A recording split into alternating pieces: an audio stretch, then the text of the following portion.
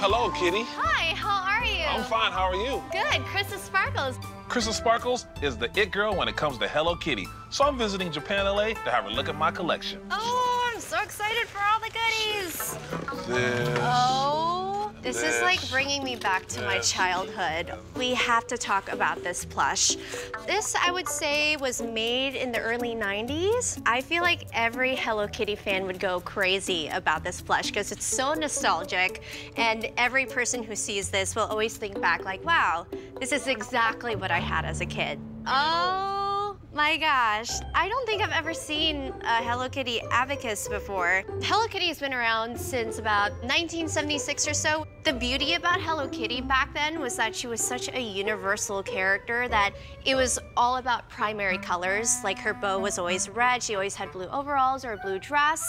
This would be a prime example of this being a legitimate vintage Easy, item. easy kid colors. Yeah.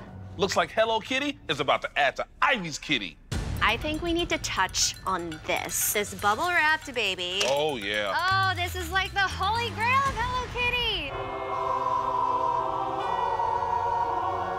This is a crazy good find. This rotary phone is such a big deal for every single Hello Kitty collector out there. And recently, there's a red version of this that sold for a $1,000. I mean, the fact that I'm touching it is like, all right, I'm bound down to this. Uh-huh. So when you answer the phone, do you gotta say, Hello, Kitty. Yes, in a more seductive tone. Yeah. Hello, Kitty.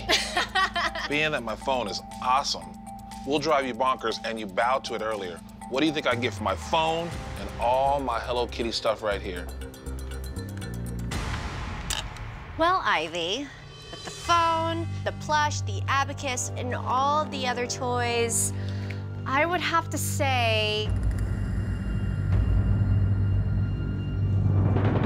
nine hundred dollars. Ooh, praise Hello Kitty. Ooh,